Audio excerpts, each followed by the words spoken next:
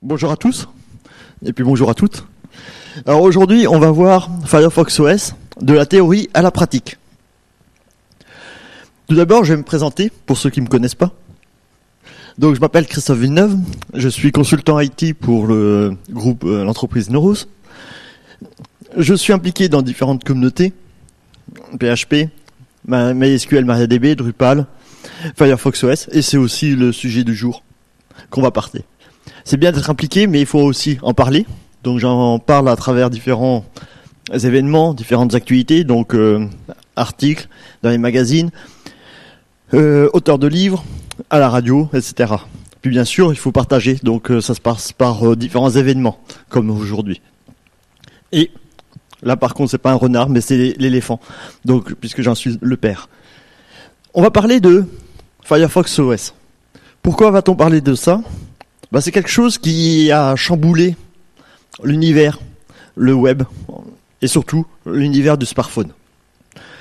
On va voir trois petits points, ou trois gros points. On va voir d'abord un peu la théorie, pourquoi il y a du Firefox OS, comment s'en servir, et puis aussi l'autre utilisation, parce que Firefox OS n'est pas que sur téléphone. Firefox OS, c'est euh, un OS pour téléphone portable, pour smartphone. C'est un projet qui a été lancé il y a deux ans. Et deux ans après, le projet existe. Les téléphones sont disponibles depuis l'été dernier en France. Pas tous, mais il y en a quelques modèles. Dans l'As du monde, bien un peu quelques mois avant. Petit à petit, ben, euh, l'univers Firefox et de Mozilla euh, arrive dans toutes les planètes et surtout dans, tous les pays. Le concept, c'est que c'est que du HTML, donc un OS libre, ouvert, qui vous permet de réaliser des projets et de les porter directement sur votre téléphone, sans besoin de reconstruire le projet, sans besoin comme euh, les autres fabricants qu'il faut utiliser un SDK. Le SDK est propriétaire ou pas, ou vous êtes dépendant d'une market, vous n'avez pas le choix de des logiciels, des applications qu'on vous propose. Du jour au lendemain, si vous proposez une application, elle peut être retirée pour X raisons, sans aucune euh, explication. Euh, donc, euh, beaucoup de contraintes. Et là, Firefox veut résoudre ce problème en proposant la même chose qu'ils ont fait il y a 10 ans avec le web, en proposant un navigateur ouvert, compatible sur n'importe quel OS, n'importe quel environnement. Et là, ils feront la même chose. Donc, ils font leur environnement, leur matériel, leur smartphone, mais ça marche aussi sur d'autres euh, téléphones. Comment c'est construit? Firefox OS est construit en trois couches. Il y a une couche Gaia, Gecko et Gonk. On va rentrer tout ça un petit peu en détail de à quoi que ça correspond. Gonk, c'est la couche qui est la plus basse. C'est-à-dire c'est celle qui va être le cœur, la partie Linux. La partie qui va vous permettre que quand vous allumez votre téléphone, eh ben c'est le point de démarrage. C'est lui qui va identifier le matériel. C'est lui qui va s'occuper du hardware, des périphériques. Donc dans un smartphone, vous avez l'appareil pour téléphoner, euh, la voix, la caméra pour prendre les photos. Vous avez tous différents outils de device, la partie vibration, les connexions USB, etc. Donc c'est pas très euh, visible, mais il y a dedans ben, la gestion du touchpad, le GPS, tous les appareils. Donc là, ce sont des drivers. Et tout ceci, c'est la couche la plus basse. Ça n'a absolument rien à voir et c'est complètement scindé du reste des deux autres couches. L'intérêt, c'est que grâce à leur système d'ouverture, eh ben, Gonk, en mettant des nouveaux drivers sur des nouveaux périphériques, on peut porter Firefox OS sur d'autres utilisations. On verra ça à la dernière partie. Et là, vous vous direz, ah ouais, on peut s'en servir. Différemment d'un téléphone. La partie Gecko, c'est le niveau qui correspond euh, en résumé à l'OS ce qui va permettre de faire la relation entre les applications et la partie euh, Gonk qui s'occupe des drivers. Parce que la partie Gonk même que le téléphone peut être propriétaire ou pas, ou les drivers. Donc, euh, ce sont des choses qu'on peut pas trop manipuler. On est obligé, on peut les manipuler, mais à travers des web apps, des applications euh, web, puisque Firefox OS c'est 100% web. Donc Gecko va permettre de pouvoir gérer, on va dire, les fonctionnalités de base, comme un système d'exploitation. Mais là, tenez que c'est pas un système d'exploitation comme tout le monde, puisqu'il faut quand même gérer ben, les contacts de téléphone, il faut quand même pouvoir gérer euh, euh, toutes les activités, les alarmes, euh, toutes sortes de protocoles que vous avez besoin, que vous utilisez nativement. Et eh bien tout ceci, c'est géré. Bien sûr, l'ensemble, c'est contrôlé par du HTML5, c'est contrôlé par de l'API et quelques applications concrètes, même la géolocalisation que vous pouvez manipuler. Gaia, c'est la couche au-dessus. C'est le dernier niveau. Gaia, c'est celle qui va correspondre, on va dire, à l'IHM, à ce que vous avez le droit. Parce qu'en tant que particulier ou en tant que développeur, lorsque vous voulez développer une application sur téléphone, euh, ben, le seul niveau que vous avez accès facilement, c'est de la passer par Gaia. La partie manipulation des périphériques, des drivers, ça, étant donné que c'est sous copyright, sous licence euh, qu'on ne peut pas toucher, donc euh, on est obligé de passer par les web apps. Donc la seule manipulation qu'on peut faire, c'est faire des applications web, puisque Firefox OS, c'est pour du web. Et comme ce qu'on a l'habitude d'avoir sur un desktop. J'ai mis quelques fonctionnalités, quelque chose. L'intérêt, c'est que euh, on peut gérer du cache. Ça veut dire que si vous n'avez plus de connexion Internet, vous n'avez pas de 3G, du E, du 4G, de tout ce que vous voulez, vous n'avez pas de Wi-Fi, l'application fonctionne grâce au système de cache. Tout ceci permet d'avoir un gros avantage. Pour contrôler le téléphone, bah, chaque composant est contrôlable vous pouvez le manipuler.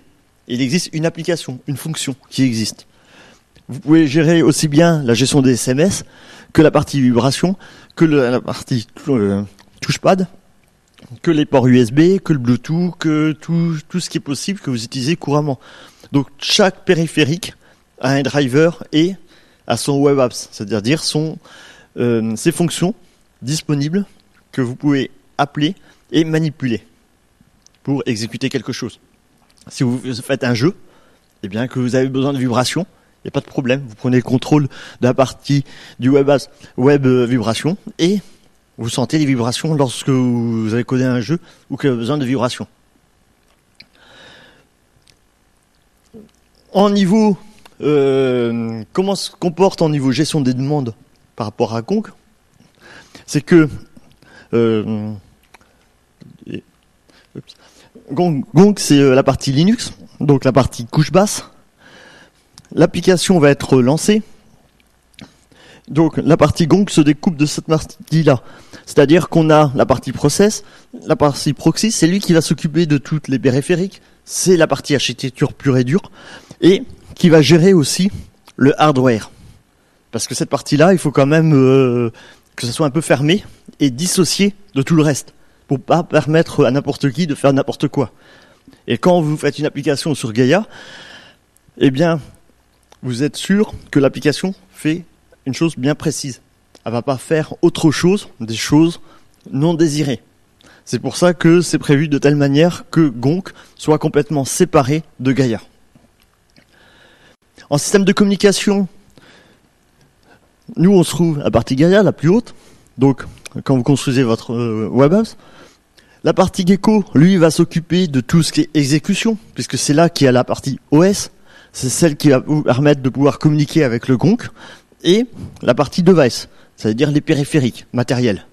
Cette partie-là, le device, peut être euh, l'intérêt, c'est que si le driver existe sur un nouveau périphérique, quel qu'il soit, et qu'il soit compatible avec Gonk, le reste marche. Ce sont les deux points nouveaux qui sont apparus en un an de temps avec l'ouverture. Mais on verra ça tout à l'heure. En niveau compétences, parce que là on a vu une partie de la théorie, montrant que les différentes couches, les différents niveaux, la possibilité de ce monde merveilleux de pouvoir euh, faire son application sur desktop puis le balancer sur euh, smartphone sans quasiment rien développer. Mais si, il y a un petit peu de développement, vraiment très mineur. Il faut surtout aussi euh, un peu de réflexion, mais grâce aux outils qui existent sur le net, ça se, fasse, ça se fait très rapidement et facilement. Le rapidement, c'est un grand mot, hein, parce que votre application, il faut quand même la faire. Tout d'abord, comme j'ai pu déjà le dire, c'est que le Firefox OS s'appuie sur du HTML 5, CSS 3 et JavaScript. Les, vraiment le full web, les nouvelles fonctionnalités. Bien sûr, si vous faites du web 1.0, ça marchera. Il euh, n'y a pas de souci. Sans JavaScript, sans CSS, avec les tables, les TR, les TD, les fonctionnalités prévues à la version 1, ça marche. Si vous voulez faire du vraiment du web euh, très moderne, euh, dynamique, responsive et tout, le HTML5 permet de le faire, puisque les nouvelles fonctionnalités sont disponibles. Je vous ai mis un petit lien pour qui explique comment coder correctement. Mais bon, lorsqu'on fait du code HTML5 et qu'on passe ça avec le validateur W3C, on est sûr que le code est validé. Étant donné que Firefox s'appuie sur le validateur du W3C, vous êtes sûr d'avoir une compatibilité. En niveau outils, parce que c'est bien d'avoir trois langages, trois technos différentes pour faire son développement de projet ou son site web. En outils, ben on utilise des outils standards, libres, qui sont ouverts. Ce que vous avez l'habitude d'utiliser. Donc euh, il y a du Gedit, Notepad, Eclipse. Euh, euh, c'est déjà intégré, c'est quasiment du NVU ou d'autres logiciels qui sont qui proposent déjà les fonctionnalités HTML5, JavaScript, CSS. Donc euh, vous le téléchargez, vous l'installez, vous codez, et c'est lui qui vous fait euh, attention, vous avez fait une erreur. Donc euh, c'est quand même un outil qui marche pas mal de travail, mais qui est quand même intéressant. Et puis à connaître. En niveau navigateur, parce que oui, c'est bien de faire une application, mais il faut pouvoir la voir. Et le voir, il faut, faut un navigateur, puisqu'on est dans le web. Et le web, tenez que Firefox OS c'est un navigateur, donc on, on reste toujours sur ce principe-là. Moi j'ai mis Firefox, parce que c'est celui que je me sers le plus. Mais les autres fonctionnent aussi, puisqu'il faut penser qu'une application web, eh bien, euh, il n'y a pas que Firefox. Il y a aussi d'autres navigateurs qu'on va pas citer, mais euh, vous pouvez utiliser Firefox sans problème. Dedans, il vous faudra quand même l'outil de debug, parce que c'est rare de faire une application avec zéro bug. Et puis il vous faut aussi donc le Firefox OS App Manager, qui avant s'appelait le simulateur. C'est-à-dire que si on n'a pas de téléphone euh, avec soi, ben, il y a un simulateur, c'est-à-dire un petit plugin qui s'ouvre et qui permet d'avoir un téléphone simulé, ce qui permet de tester en local, au lieu de transférer ça sur le téléphone pour voir si ça fonctionne ou pas. Et grâce à, euh, ces fonctionnalités, et eh et ces outils, eh c'est bon, euh, vous avez tous le nécessaire pour coder. Eh bien, on va réaliser notre première application. Alors là, je me suis appuyé sur une application euh, qui est assez connue. Euh, c'est la gestion de la batterie. Comme vous savez, quand vous utilisez votre téléphone, bah, la batterie descend vite. Eh bien là, euh, je, vais vous montrer comment faire pour savoir si elle est chargée ou pas chargée. Donc c'est une petite application qui qui est simple, mais quand même pour vous montrer la puissance de de ce que vous pouvez faire. Et c'est une application parmi tant d'autres. Tout d'abord, il faut concevoir une architecture. C'est-à-dire qu'il faut respecter les normes. Il faut faire quelque chose de propre. Quand vous mettez un dossier CS, CSS, c'est pour les feuilles de style. Il ne faut pas les mettre dans les autres dossiers. Ça peut sembler logique, mais ça existe. Il y en a qui mettent les fichiers n'importe où ou tout la racine. Puis c'est pas grave, euh, c'est pas notre problème de ces images avec les icônes. Donc les icônes, ce sont cette forme-là. Il, existe différents types d'icônes, puisque comme vous savez, quand vous avez un smartphone, il existe énormément de variétés, de dimensions d'écran. Plus dessus, il y a les tablettes. qui aussi sont des smartphones, mais grand écran. Puis il faut penser aux ordinateurs euh, touchpad, et puis aux ordinateurs portables, et puis etc. etc.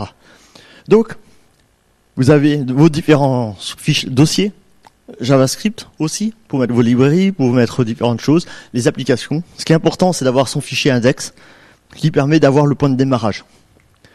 Quand vous faites votre application HTML, le web, vous avez un fichier index. Donc là, j'ai parmi. C'est vrai que j'aurais pu faire bien, mais bon. Euh, vous avez votre fichier index, vous avez votre dossier image, comme tout à l'heure. Vous avez votre dossier CSS, le JavaScript.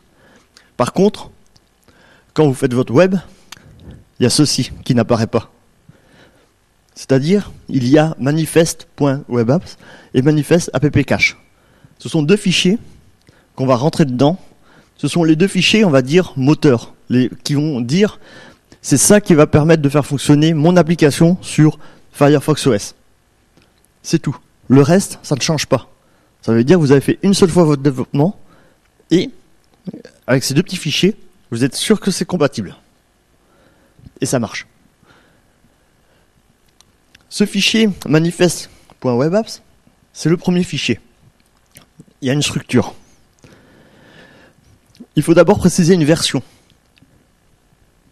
La version est importante, surtout si vous manipulez du cache.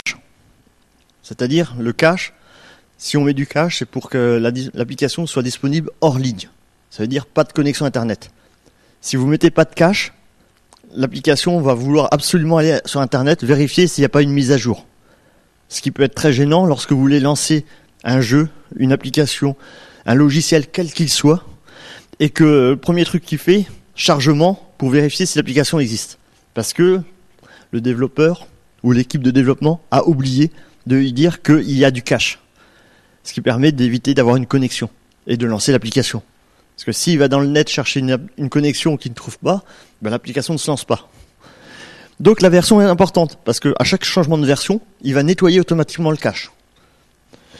Ensuite, il vous faut un nom d'une application, donc là j'ai mis batterie, un descriptif, la position où se trouve le fichier index.html, c'est le fichier qui va déclencher l'application. Celle que c'est pas euh, lorsque vous avez votre téléphone, vous voyez le picto, ça, c'est pour euh, l'icône qui va vous illustrer que quoi il y a une application. Mais quand vous appuyez dessus pour la lancer, ça va générer quelque chose.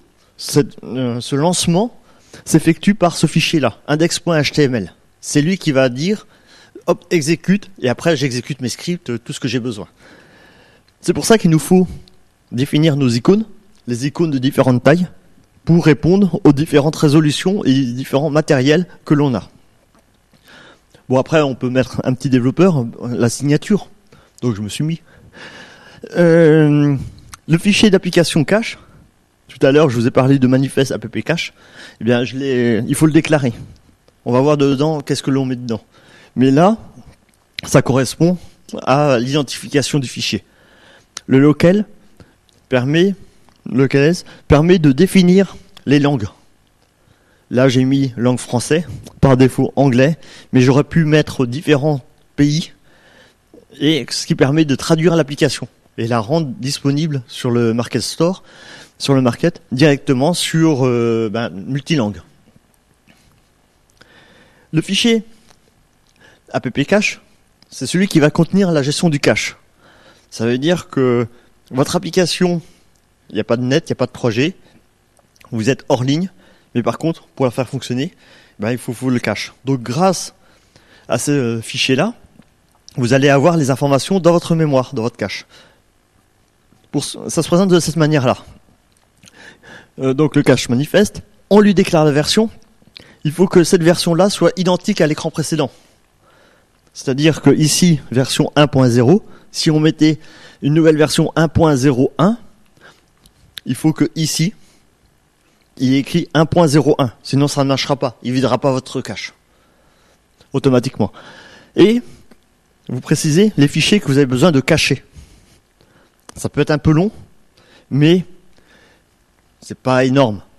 Bon là j'ai mis les fichiers euh, importants parce que l'application était assez légère, et ce qui permet que lorsqu'on lance l'application, il va directement chercher dans le cache euh, les informations. Comme ceci, vous êtes sûr qu'elle fonctionne. Étant donné qu'on gère la batterie, donc j'ai fait un petit fichier JavaScript qui permet d'avoir la gestion de la batterie. Donc avec différents indicateurs. Ce sont des fonctionnalités, euh, on va dire, c'est du JavaScript classique, qui permettent de déclarer les éléments, des indicateurs, et puis ensuite avec des différentes valeurs. Donc il n'y a rien de, compliqué là-dessus, puisque ce sont des fonctionnalités, on va dire, standards. Les fonctionnalités standards, la seule remarque qu'il faut retenir, c'est que, étant donné que le navigateur, au fil des, mois et des semaines, ont évolué, c'est-à-dire que lorsque il y a une nouvelle fonctionnalité qui apparaît dans le navigateur euh, Mozilla, il y a exactement, d'abord il y a une fonction qui est rajoutée Moz, et puis après, quand elle est stable, on enlève le Moz, ce qui permet d'avoir deux fonctions. Mais il faut penser à ceux qui n'ont pas encore fait la mise à jour de leur navigateur Firefox. Donc c'est pour ça qu'on se retrouve avec différentes fonctions à déclarer. C'est une petite contrainte, mais ça se fait facilement. Euh, après, j'ai juste mis les deux fonctions. Une fonction qui permet de dire attention, ma batterie elle est déchargée. Donc si ma batterie est déchargée, euh, non là c'est batterie chargée pardon. Euh, donc si la batterie est chargée, euh, ben, je lui affiche telle couleur avec telle information. Et si c'est pas bon, il y a une erreur, hop, je change mon positionnement pour pouvoir lui dire qu'elle est déchargée. Donc avec une autre couleur, avec une autre information. Ce qui permet d'avoir des informations claires et nettes et précises pour l'utilisateur. Le fichier index, c'est celui qui va lancer, tout à l'heure, comme j'en ai parlé, c'est le déclencheur. Ce déclencheur va se présenter sous cette forme-là. Fichier HTML classique. Les seuls points qu'on va s'attarder, c'est dans la barre HTML, il faut lui dire qu'il existe un cache, puisqu'on l'a déclaré, mais il faut quand même lui rappeler dans le fichier HTML, parce que quand on lance le fichier HTML, on, va lui dire ah attention, t'as un fichier cache qui existe. Ben si t'as pas de net, va piocher dans le cache. Comme ça, ça on est sûr que l'application fonctionne. Ensuite, euh, là ici, ce qui est bien, c'est redéclarer les icônes, parce que euh, si on les déclare pas, vous pouvez rencontrer des problèmes sur les ordinateurs portables quand vous faites des simulations, des choses comme ça. Ensuite, après, ben, vous avez votre body, votre code classique, et puis vous installez votre application. Lorsque vous avez fait votre application, donc on a vu du JavaScript, on a vu euh, les déclarations, le lanceur, il faut la tester. La tester, on peut la tester, euh, donc l'application est disponible, donc je vous ai mis l'URL, comme ça vous aurez le temps d'aller la chercher ou la télécharger, qui permet directement de l'avoir euh, toute prête. Parce que là, je vous ai montré qu'une partie du code. Mais bon, euh, sinon il y avait un peu plus de code et c'était pas utile. Lorsqu'on lance l'application, ça se présente sous cette forme-là. C'est une application qui dit attention, votre euh, voilà, il y a tant de chargement de batterie euh, qui est disponible.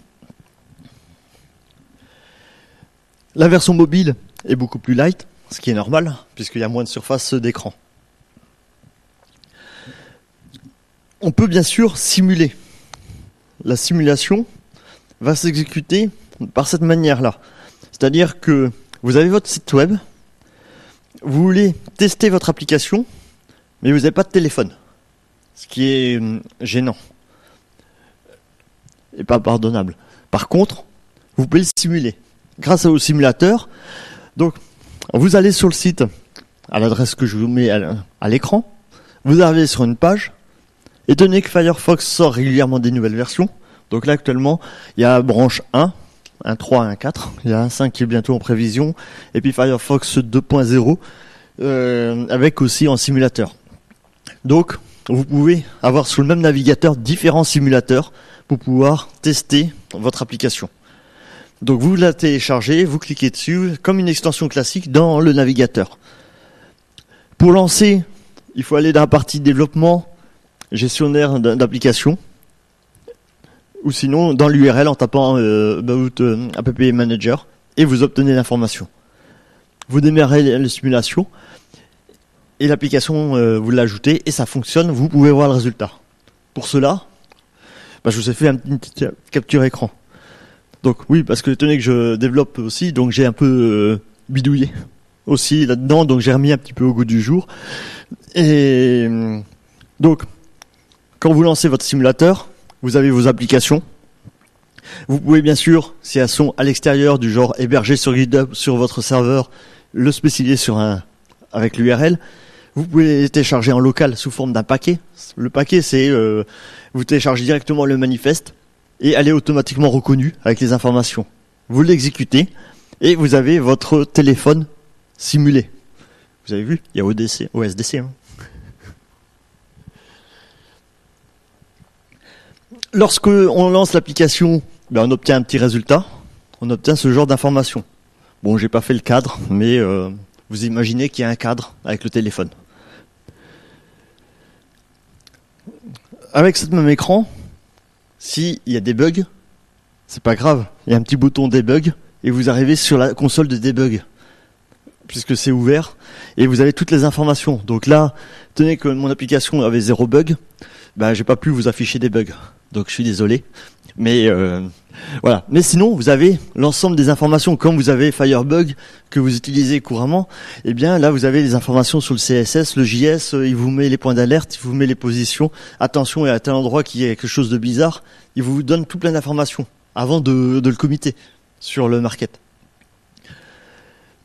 En parlant de market, eh bien, euh, ça se présente lorsque vous avez fait votre application. Il y a zéro bug, vous l'avez validé. Vous pouvez après le déployer. Il y a deux méthodes vous le déployez soit sur un serveur à vous, vous en avez le contrôle, 100% le contrôle, et vous en faites ce que vous voulez, ou directement sur le market de, Firefox. Donc, on peut avoir le choix, on est libre, ce que propose euh, ben, le but de ce projet. C'est pour ça que le market, lorsque vous souhaitez mettre à disposition. Donc ce fichier HTML avec le manifeste, c'est le plus important. Parce que si vous le faites en hébergé euh, à distance, c'est-à-dire qu'il faut fournir l'URL et il va faire moins de contrôle pour pouvoir la mettre à disposition comme une sorte de relais. Donc si vous utilisez par exemple un framework, un CMS, un ERP, enfin n'importe quel logiciel, et que vous avez besoin de vous connecter avec ce type de téléphone, eh bien euh, vous créez votre fichier index.html, le manifeste, à distance. Vous le mettez en mode hébergé et il est reconnu dans, le market. Et c'est vous qui en avez le contrôle. Sans besoin de, suivant vos langages de développement, ben vous n'avez pas besoin de tout balancer sur le téléphone. Tout se fait chez vous.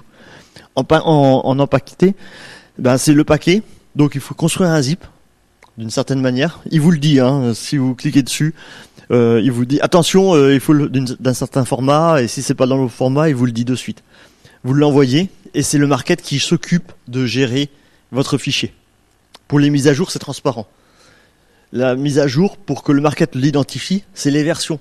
Vous savez, tout à l'heure, quand j'ai parlé de la version 1.0 et puis 1.0.1, et avec le système de cache, donc ce numéro de version qu'on écrit à deux trois endroits, c'est très important parce que c'est lui qui va dire à l'outil attention, il y a euh, un changement de version, il faut que je mette à jour toutes mes applis, et ceux qui s'en servent, il faut que je leur signale qu'ils ont une mise à jour à faire.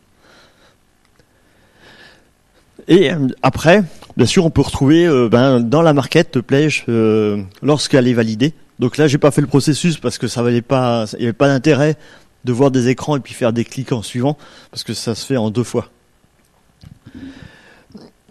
Je vous ai parlé en début que Firefox OS était bon, le téléphone, ça on le connaît, ça fonctionne, c'est disponible, c'est commercialisé, mais il y avait d'autres utilisations, des utilisations qui, il y a un an, on n'y pensait pas.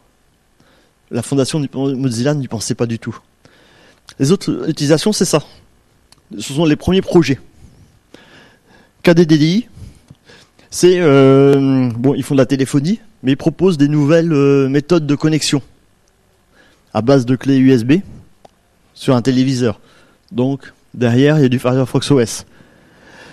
Là ici, c'est un kit, starter fait par euh, qui euh, est assez qui est quand même intéressant. Vous le mettez et ça propose aussi des fonctionnalités.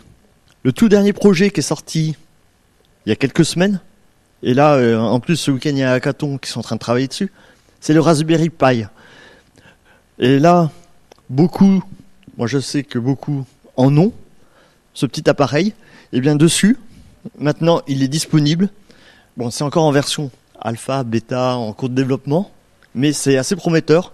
C'est que dessus, on peut mettre un Firefox OS dessus, grâce à Kong.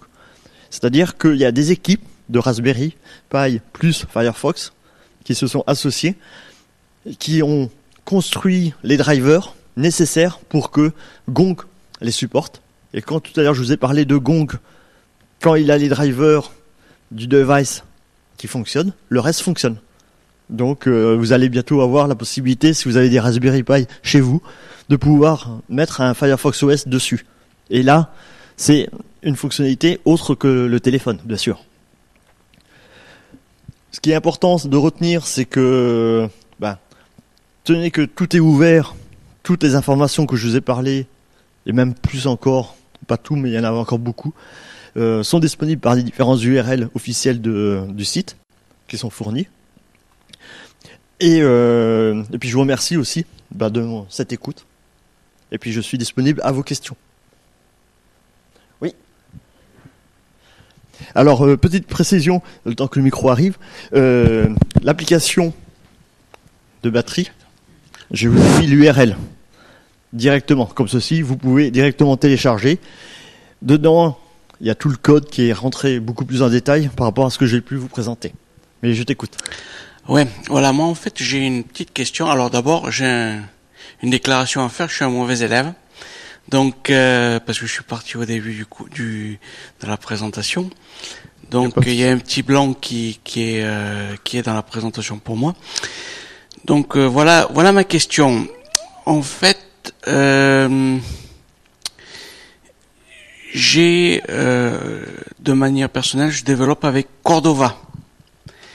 Est-ce qu'il y a alors en fait il y a d'énormes ressemblances, notamment dans la structure, puisque j'ai euh, vu que le le répertoire que avec le- l'index.html était similaire à celui euh, de ce qu'il y a dans Cordova quand on on lance un petit Cordova, on fait un create. Euh, je voulais savoir quel était euh, est-ce qu'il y a des avantages ou il y a des différences euh, entre euh, ce que tu as présenté et Cordova? Si c'était Cordova, je m'en excuse. Alors, euh, non, non, l'outil, en gros, c'est que, quel que soit l'IDE, l'outil que vous développez, si il permet, si on peut utiliser du, euh, du HTML, du CSS et du JavaScript, donc un, éditeur de script, eh bien, ça marche. Donc, il n'y a pas besoin de changer euh, d'outil, parce que euh, j'ai présenté certains outils qui étaient préconisés. Mais n'importe quel outil que vous avez l'habitude d'utiliser dans vos développements, si vous pouvez développer dessus ces trois technologies web, eh bien, développez dessus. Vous le sauvegardez. La structure, c'est vous qui la définissez, puisque le manifeste est en JSON, donc vous déclarez les chemins comme vous le souhaitez. Là, moi, j'ai mis JS, mais on aurait pu mettre JavaScript, en, le mot en entier. CSS, on aurait pu mettre euh, style seed ou euh, feuille de style ou de tout ce que vous voulez les chemins. Donc c'est vous qui définissez ce manifeste-là. Étant donné que le manifeste est en JSON, il y a une structure à respecter avec les noms euh, système, mais sinon c'est tout. Après, l'outil de développement, c'est que du script. Donc euh, avec n'importe quel, même avec un notepad tout simple, on peut développer dessus. J'ai une autre question. D'abord, merci pour la présentation. Euh, J'ai plusieurs petites questions. La première, c'est euh, maintenant en JavaScript, on utilise beaucoup des frameworks de type Angular ou Backbone ou, ou autres qui vont après compiler et minimifier le, le- les fichiers JS. Est-ce qu'on peut utiliser ces, outils euh, indépendamment euh, pour développer nos applications? Alors au niveau minification, c'est vrai que j'ai fait l'impasse dessus, mais euh, donc il est possible de minimiser. Il existe différents outils, ils sont tous standards, donc ils fonctionnent tous. Il y en a qui optimisent mieux que d'autres. Les noms, là, je, je suis désolé, je les ai perdus. euh, enfin, mais ce qu'on a l'habitude de minimiser, ça fonctionne. Donc euh, après, il faut juste les déclarer, mais euh, la fonction de minimiser, oui, existe. Et ça, ça marche sans problème. Et en termes de market, actuellement, est-ce qu'il y a eu beaucoup d'applications qui ont été développées et déposées sur, sur le market? Alors, au niveau nombre d'applications du market de Firefox, alors on est très loin du nombre d'applications de, ses concurrents, enfin de, des autres fabricants, puisqu'il n'y a pas du tout la même ancienneté. Par contre, euh, le projet évolue très très vite, donc les applications arrivent toutes petit à petit. Euh, ça, euh, sais plus combien il y a d'applications, mais le chiffre augmente tous les jours. Les équipes sont plus privilégiées, plus privilégié, on va dire, les développements d'applications les plus utilisés sur ben, les réseaux sociaux, sur les, euh, enfin, les applications qui sont, on va dire, à la mode, que tout le monde utilise sur les autres environnements. Mais euh, en gros, tout le monde est libre pour pouvoir euh, donner un coup de main, euh, d'apporter son application. Après, le nombre d'applications en très peu de temps, déjà, c'est énorme, puisque c'est l'ensemble de la planète, enfin, tous les pays qui ont un Firefox ou la possibilité, qui sont intéressés par le projet, ont participé dedans. Mais euh, après, il y a certaines applications que euh, j'ai pu toucher sur d'autres OS qui n'existent pas encore sur Firefox parce que dedans il y a du code propriétaire, l'application n'est pas full HTML5 ou euh, voilà. Mais ce sont des choses qui sont en train d'arriver. Et euh, dernière question, est-ce qu'il existe des petits outils pour euh, créer des squelettons, pour créer son projet, démarrer son projet, pour générer le manifeste et le fichier de cache, et, etc. Alors, pas ma connaissance, pas ma connaissance, mais je sais qu'il y a eu, hmm, il faut aller chercher sur GitHub mais je sais qu'il y a eu des débuts de construction de fichiers euh, pour euh, mais des fichiers de création en, mode automatique du genre un scan. Euh, à ma connaissance, ça n'existe pas encore, mais ça devrait sûrement pas tarder. ou sinon après, il faut le faire en, en, code, donc c'est pas c'est faisable. Différents points. Le, la quantité d'applications, il y en a plein. J'en ai un téléphone comme ça. Je, déteste les téléphones, donc du coup j'ai un, Firefox OS. Mmh. non, et du coup j'ai pas de comparaison par rapport à l'autre chose. Je, je suis pas frustré parce qu'il manque des choses par rapport au précédent. Le, pour l'instant, il y a clairement un problème de, qualité, de finition. Donc quand c'est des, euh, des, gens euh, compétents ou des gros studios, des choses comme ça, ça fonctionne très bien. Donc euh, Cut the il marche très bien. Ou les studios Disney, on fait des jeux. Techniquement, on peut faire plein de belles choses. Mais par contre, il y a beaucoup de choses qui sont des espèces de POC qui ont été mis en ligne donc le, compter le nombre d'applications, ça ne sert pas à grand chose en fait. C'est celle qui marche, celle qu'on peut installer, celle qu'on utilise en fait qui est intéressant. C'est cette partie-là. Pour l'instant, il y a c'est très variable euh, ce, qui, est proposé. Alors, euh, au niveau qualité des applications, oui. Il y a eu aussi beaucoup de tentatives d'essai. Euh, je sais que par exemple là ce week-end avec le hackathon, il y en a certains qui ont parlé de la gestion des codes barres, des codes barres et des QR codes. Donc il faut euh, trois applications différentes pour essayer d'avoir quelque chose à peu près correct. Donc je, euh, on est conscient qu'il euh, y a beaucoup d'applications. c'est tout nouveau, donc les applications qui sont apparues répondent à un certain besoin du développeur, mais pour l'instant, elles ne sont pas encore passées en stade, on va dire, pur générique, ou fusionner plusieurs applications pour en faire qu'une seule de bien. Donc c'est comme un, un jeune projet. Donc le jeune projet, pour l'instant, il accepte tout le monde. Enfin, c'est pas le but de refuser euh, qui que ce soit.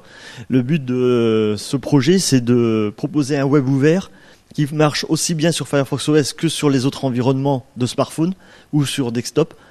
Après, euh, les, premières applications qui sont de qualité, on va dire, d'un ton en dessous de ce qu'on peut attendre, ben, parce que les développeurs commencent à développer ou ils apprennent dessus. Donc euh, la qualité il y en a certaines qui ont déjà, certaines équipes ont déjà les gros moyens et ils ont, ils proposent des euh, très bonnes qualités. Les autres applications ont la qualité, mais peut-être au niveau euh, euh, design, graphisme, ben, il manque quelque chose. Donc oui, ce sont des choses que c'est en train de se construire, les équipes, les, sont en train de se mettre tout ça en place. Donc ça va arriver, mais pour l'instant, oui, c'est les fonctions qui sont surtout demandées. Est-ce que SMGS et SIMDJS fonctionnent pour l'instant sur le téléphone? Il faudrait vérifier. Alors, euh, je vais pas m'avancer euh, sur sur ces points-là, mais je sais qu'il y a des équipes qui s'y ont penchées dessus. Vous dire si c'est stable encore ou pas, il faudrait vérifier. J'ai un petit doute J'ai pas, j'ai pas vu la dernière roadmap euh, exactement. Le, troisième point, c'était sur le Raspberry Pi. Oui. J'ai testé en version Linux. Le, si on tape un truc plus lourd que Midori, euh, il n'y a rien qui avance. Donc c'est un beau challenge d'arriver à faire tourner un Firefox sur une machine pareille. Alors, euh, concernant le Raspberry Pi, je l'ai vu hier. Donc c'est pour ça, c'est tout neuf. Ça a été présenté au, au Firefox euh, euh, Con euh, de début novembre à Londres. Donc voilà, c'est tout récent. hein. C'est et les premiers esquisses qui ont été montrés sont assez prometteurs. Par exemple, il y en avait un qui se plaignait qu'il lui manquait le son. Oui, parce que le driver il n'existait pas, donc euh, il comptait le faire ce week-end. Euh, Il y a beaucoup de manques, ils le savent, mais par contre, euh, il y a, on va dire, une première étape. C'est-à-dire que les premiers essais ont montré qu'on pouvait mettre un Firefox OS sur ce produit-là. Ce qui veut dire que si on peut le mettre, le produit va évoluer. Donc il y a un intéressement, beaucoup de gens sont intéressés pour participer et contribuer dans ce nouveau projet, autre que du téléphone. Et euh, il faut attendre dans les prochaines semaines. Mais là, c'est euh, là on a vu les le, le potentiel. Moi, je l'ai vu hier, donc c'est pour ça que je peux en parler. Et euh, c'est des choses qu'on va en entendre parler euh, dans les prochaines semaines. Vous allez voir des news sur le web. On fait une dernière question et puis après on va. Sinon après je suis encore disponible un petit peu. Ah, désolé, c'est trois petites questions, je sais pas si on va avoir le temps. Je suis. Euh, la première, c'est plutôt au niveau du feeling du développement. Donc toi, tu as fait une application, à quoi ça ressemblait? Comment Est-ce que c'était agréable? Est-ce que c'était quelque chose qui ressemblait à faire du JavaScript front-end? Est-ce que c'est quelque chose qui ressemblait plutôt à faire du back-end? Est-ce que ça allait rapidement? C'était facile. Alors Comment euh, était ton expérience? Euh, pour euh, parce que j'ai pas j'en ai plusieurs et d'autres que j'ai pas encore publiés. J'ai plusieurs applications. Donc euh, développer une application en gros, je suis parti sur le principe c'est je développe mon application sur le desktop, sur l'ordinateur de ce que je veux. Euh, bien ou pas bien ou codé comme euh, en mode spaghetti ou avec des jolies fonctions avec euh, un framework JavaScript enfin toutes sortes. Donc euh, donné que le HTML5 permet d'avoir une base de données associés. Donc, on peut avoir ce type d'information. Euh, la complexité, c'est le manifeste. C'est ça qui est le plus, on va dire, le plus compliqué. Développer une application JavaScript, enfin HTML5, donc c'est côté front, associé à une base de données, on peut embarquer une base de données, on peut embarquer tout plein de choses. Donc, euh, si vous développez du HTML5, enfin une application front avec les dernières fonctionnalités proposées, euh, ben vous êtes sûr que ça va fonctionner. Après, la complexité, c'est pas à moi de, de dire si c'est dur ou pas, parce que c'est suivant votre projet. Donc, si vous avez un projet de jeu euh, sur du Firefox, enfin un projet de jeu web en général, donc vous allez avoir du graphisme, vous allez, euh, des vous allez avoir un musicien, un ou plusieurs musiciens, un ou plusieurs codeurs. Vous allez faire votre jeu sur desktop. Il faudra prévoir le viewport, la di- résolution, la dimension de pour le smartphone. Vous créez le manifeste et ça marche. Il y a bon, il faudra minimiser un peu tout ça, mais euh, c'est tout. Il n'y a pas de complexité pure que ça. La complexité, c'est ce que vous voulez faire de votre application. Donc c'est vous qui développez votre application et si vous voulez une application de tuerie euh, comme une calculatrice euh, scientifique qui fasse euh, des exponentielles avec des, fractions dans tous les sens, ben c'est vous qui mettez le niveau et après vous le proposez. On va pas troller sur la gestion des flottes de JavaScript, mais bon. Euh, donc une autre question, en fait j'ai pas très bien compris quand tu parlais d'une différence entre les applications hébergées les applications qui étaient sur le market, et tu parlais qu'on n'avait pas besoin de se soucier du, euh, du langage. Et donc moi j'ai un use case, en tant que développeur je suis extrêmement paresseux, j'ai déjà fait un site web. Un truc qu'on a réussi à faire euh, sur Android, parce qu'on n'aime pas du tout le Java, c'est qu'on peut, on a un truc qui te chope ton site web, qui le bundle directement dans un gros blob JavaScript à la con, et euh, qui te fout une, une vue JavaScript euh, qui tape un WebKit devant. Et donc nous, on n'a rien du tout à développer. Est-ce que c'est euh, l'embarqué ou l'hébergé Est-ce que c'est un des deux trucs qui pourrait résoudre ce genre de use case? Alors ça correspond à l'embarqué, c'est-à-dire qu'il faut créer le fichier euh, manifeste euh, manifeste plus fichier.index.html qu'on met ça sur le sur votre site, enfin sur votre projet, votre site web. Vous le déclarez avec la marquette et là ça identifie directement dans la marquette et ça permet de le rendre disponible. Il faudra penser à- aussi à rajouter le cache. Comme ça, les utilisateurs qui iront sur votre site pourront toujours y accéder, euh, même hors ligne. C'est tout. Mais est-ce que ça, par exemple, moi imagine j'ai une base de données derrière ou un moteur de recherche, est-ce que ça me permet aussi d'embarquer ces fonctionnalités-là Ça, hors ça, ligne per- ça permet d'embarquer les fonctionnalités. grâce au cache. Si-. S'il n'y a pas de cache, euh, ça marchera pas. Parce qu'il voudra absolument aller sur Internet. Ouais. Et si vous n'avez pas Internet, euh, disons, ici nous sommes à Paris, vous êtes dans les transports en commun, et, si vous êtes sur votre site Internet, eh bien, euh, vous perdez des fois la connexion. Et donc, s'il n'y a pas de connexion, vous pouvez pas utiliser l'application. C'est pour ça qu'il faut utiliser du cache. Hmm, D'accord. Donc dernière question, est-ce qu'il y a enfin un client SSH sur Firefox OS Parce que c'est le truc que j'attends depuis des années, et moi je passerai pas dessus tant qu'il n'y a pas ça. Est-ce qu'il y est maintenant? Euh, alors, c'est la même chose que pour le copier-coller ou différentes fonctionnalités. Euh, c'est dans la roadmap. Et je pourrais pas en parler beaucoup plus aujourd'hui. Ok, merci. Eh ben, je vous remercie de cette écoute. Merci.